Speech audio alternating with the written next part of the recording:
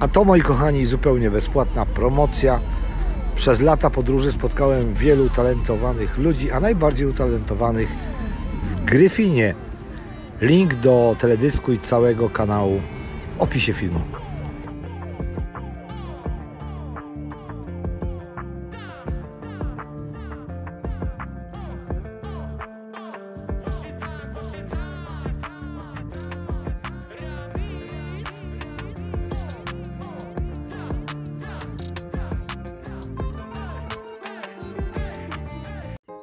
Witam na kanale Wyprawa na koniec życia. Od lat w drodze pokazuję Wam, jak to jest żyć we współczesnych czasach, we współczesnym świecie w środku Europy, jak nomada. Moi drodzy, zachęcam Was, byście zrobili wszystko, co algorytmy YouTube'a lubią najbardziej. A jeśli ktoś z Was uważa, że to, co robię, jest y, tego warte, jest pożyteczne, i zechciałby mnie wesprzeć, to odpowiednie linki znajdziecie w opisie filmu. Dziękuję. Witam gdzieś między Półtuskiem a Ciechanowem. To już tydzień od ostatniego dziennika niecodziennego. No cóż, zrobiłem sobie wakacje. Ale trzeba wrócić do rzeczywistości, do pracy i do obyczaju, że dzień niecodzienny musi być.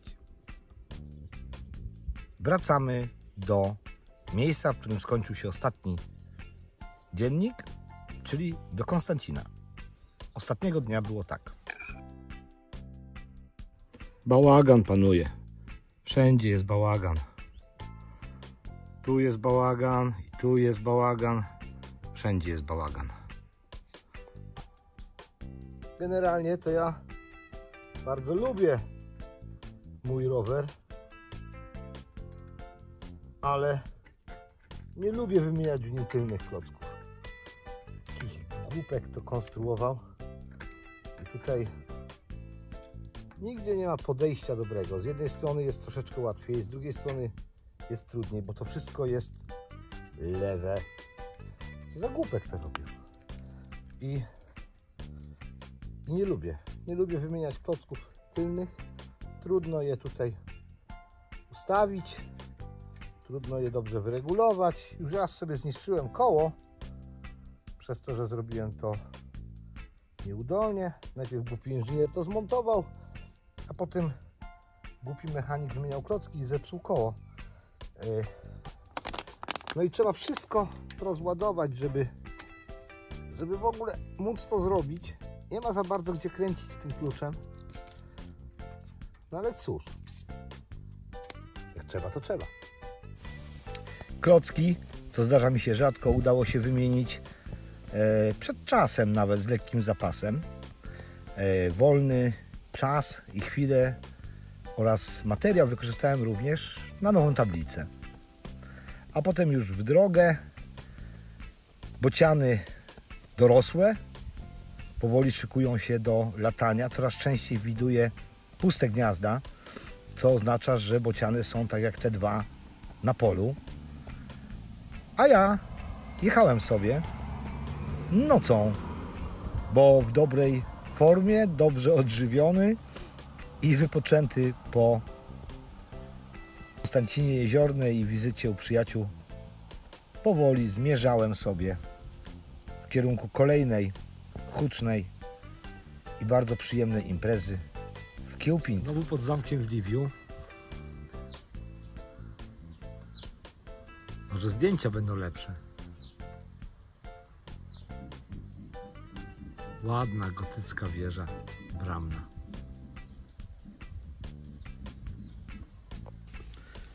Pierwszą noc po wyjeździe z Konstancina Jeziornej spędziłem e, nad rzeką Liw, Wiec nad rzeką Liwiec w miejscowości Liw. E, to znane mi miejsce i byłem chyba tydzień wcześniej. Wiedziałem, że tam będzie przyjemnie. Przejechałem tej pierwszego popołudnia i pierwszej nocy sporo kilometrów e, i zbliżyłem się do Kiełpińca na niewielką odległość 30 kilku kilometrów. Co sprawiło, że po przebudzeniu się rano stwierdziłem, że nigdzie tego dnia nie będę jechał. Chmury powoli zaczynają się zbierać. No będę zdziwiony, jeżeli tym razem mi się uda i nie będzie burzy. Rzeka piękna. To był bardzo pogodny, typowo letni, gorący, parny dzień, w którym bardzo przyjemnie leżało się pod drzewem w cieniu, ale źle to zwiastowało na wieczór. Dostawałem w życiu od ludzi różne rzeczy, ale co może cieszyć w taki duszny, parny i upalny dzień bardziej niż butelka zamrożonego soku z brzozy? Ale po pierwsze pyszne, po drugie można się okładać. Piękna sprawa. Burza wydaje się być nieunikniona. Ciężkie chmury z każdej strony właściwie. Tam jeszcze troszeczkę się przejaśnia, ale niewiele. Rower zabezpieczony, namiot przywiązany. Live'a nie będzie, już słychać grzmoty i zrywa internet. Pojawia się i znika przesył. Nie mogę Wam wysłać nawet filmu z kierownicy, który od rana próbuje się wcisnąć. Nie dość, że zasięg tutaj w ogóle jest nie najlepszy, to teraz jest po prostu zły, zły.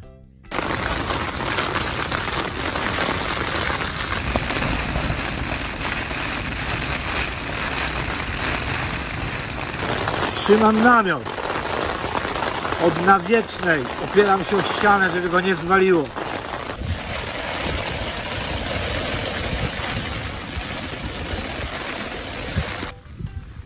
To koniec? Nie wiem, ale przynajmniej przerwa.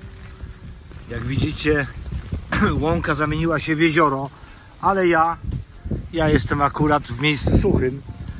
Przykrywanie roweru niewiele dało. Jedną, jedną flagę złamało, druga obstała. No cóż, przykrycie roweru właściwie zamieniło się w żagiel. Najgorsze chyba za mną, choć jeszcze grzmi. No, było mi bardzo ciężko utrzymać, utrzymać namiot w jednym kawałku, ale póki co chyba się udało. Witam moi kochani, już 11. Najważniejsze, że film z kierownicy w końcu wszedł. Nie wiem co się stało, ale wgrywał się ponad 24 godziny. To zadziwiające, nigdy tak nie miałem. Nie wiem, czy przez przypadek nie włączyłem jakiegoś 4K albo czegoś, że to tak straszliwie długo e, wchodziło. Kochani, wczoraj była burza. E, to była pierwsza burza od dwóch lat, która naprawdę zrobiła na mnie wrażenie. E, oczywiście zdjęcia i filmy nie oddają tego, jakiej była siły, ponieważ wtedy, kiedy ona była najsilniejsza, to ja miałem inne zajęcia niż filmowanie. Filmowałem właściwie tylko i wyłącznie wtedy, kiedy, kiedy e, no, wiatru słabł.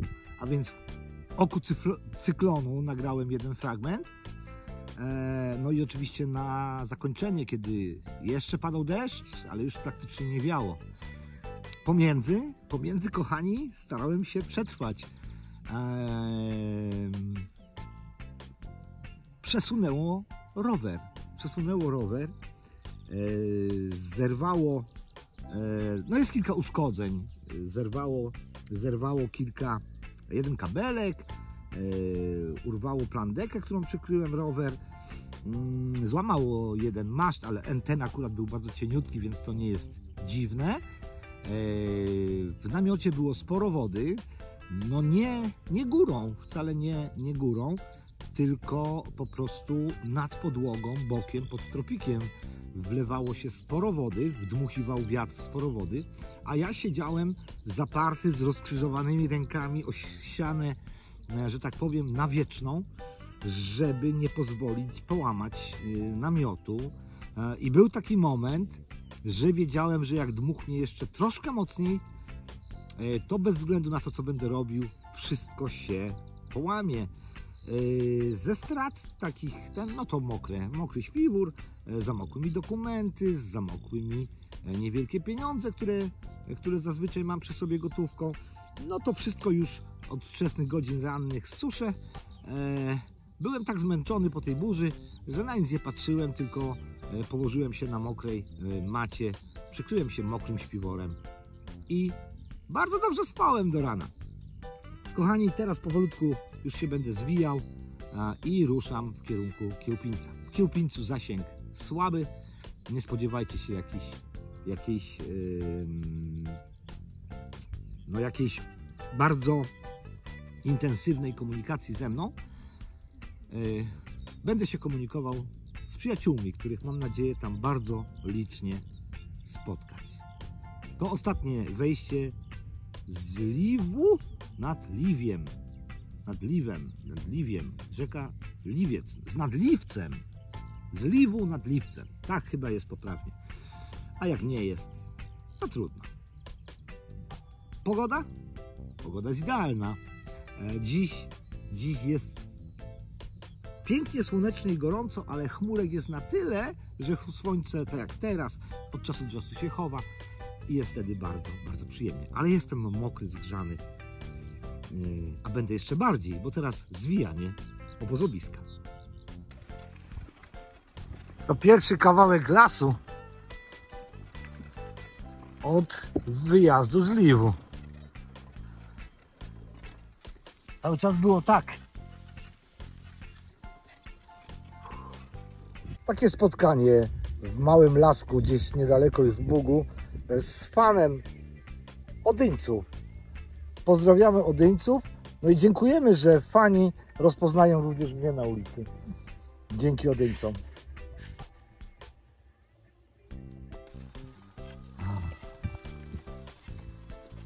Dzieci kukurydzy. Jadę sobie przez kukurydzy.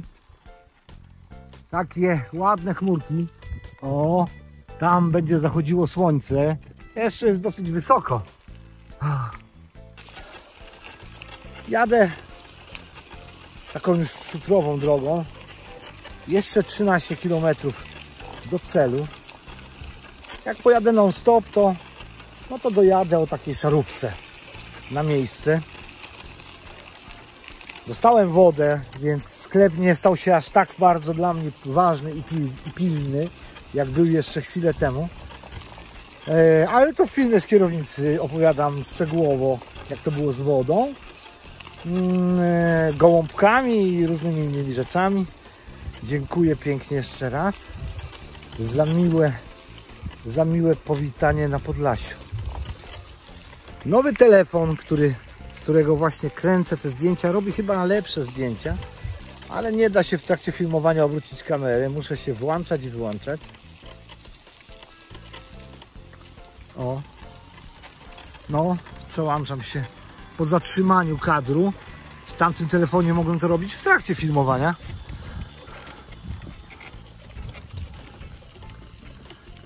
No pięknie.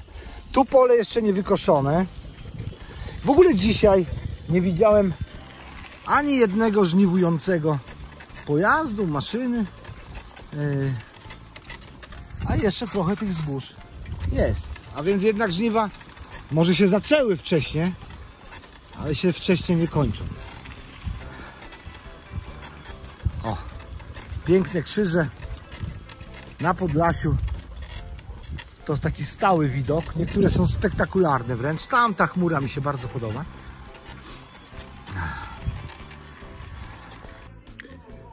To już Kiełpiniecka Stodoła. Już jest bluesowo, rockowo i przyjaźnie.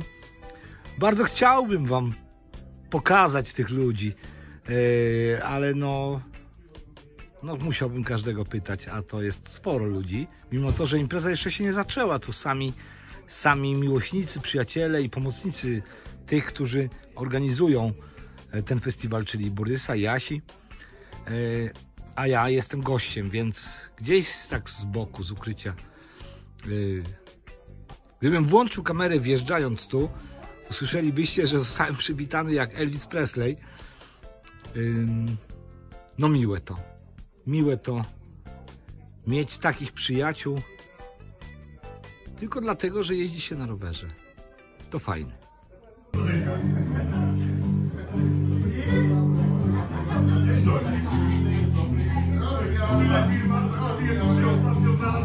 Impreza dopiero pojutrze. A patrzcie, co się dzieje.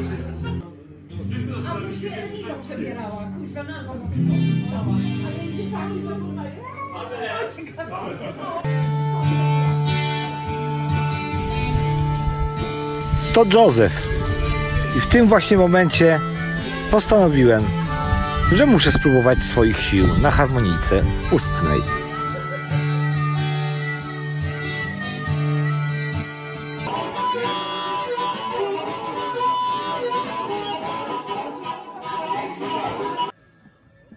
Ciągle wigilia wielkiej imprezy, aczkolwiek pewnie słyszycie, że wigilia jest nie mniej huczna niż sama impreza. Namiot stoi. Dziś zamierzam trochę pospać, bo wczoraj poszedłem spać o 5.30 rano, a wstałem już o 8.00. Więc oczywiście jakąś tam dżemkę w ciągu upalnego dnia sobie strzeliłem, ale dziś, dziś myślę, że nie będę brał udziału w imprezie, która się prawdopodobnie skończy białym ranem, e, białym rankiem.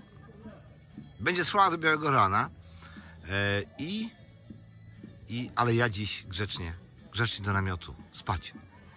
A jutro pierwsze koncerty e, i laboratorium i pan Raduli, mój ulubiony polski gitarzysta.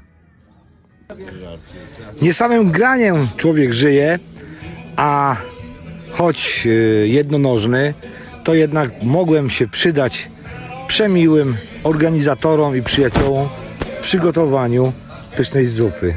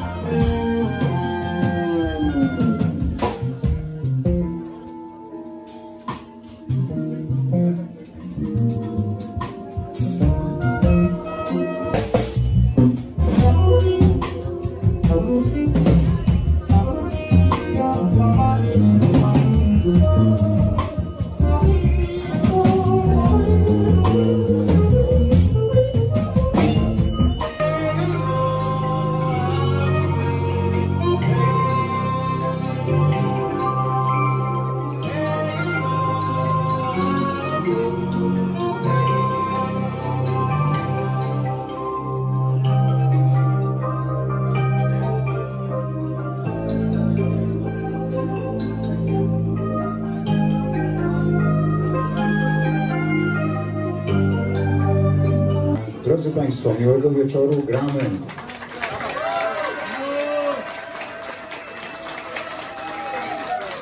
Dziękujemy. Drodzy Państwo, też prosimy o wyrozumiałość, ponieważ tylko Rolling Stonesi są starsi od nas. Dzięki Borys, dzięki Asiu, dzięki wszyscy przyjaciele, o Andrew. Yy, no cóż, w Kiełpińcu jak zwykle działa się magia, ale bez żalu, bo przecież nie na zawsze. Odjeżdżam. Ruszyłem z Kiełpińca na zachód, dokładnie na północny zachód, w kierunku Torunia, by po tym wspaniałym odpoczywaniu znowu sobie odpocząć. E, mogłoby się wydawać, że e, po tak hucznej e, mm, imprezie będę wykończony, ale jednak pierwszego dnia zrobiłem ponad 80 km.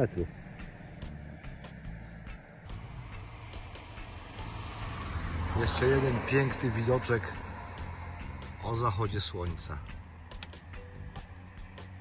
Dwa boćki.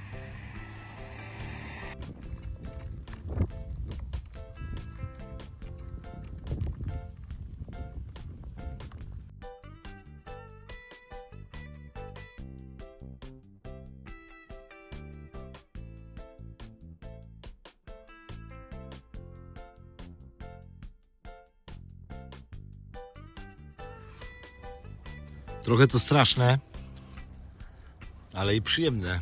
Śliwki są już dojrzałe.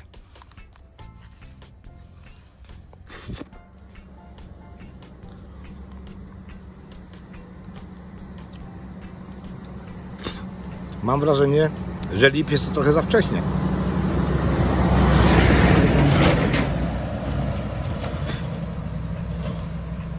Ale są to smaczne.